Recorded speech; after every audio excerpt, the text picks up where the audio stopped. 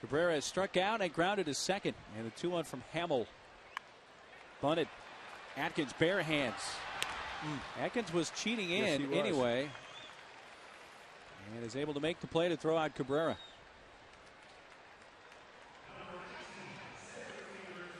And as a hitter, when we take a look at Atkins, you, know, you kind of like the idea of Everth, but you know, he was well into the grass. Even with the speed, and you can see him, he's on the grass already. Maybe if the ball was bunted a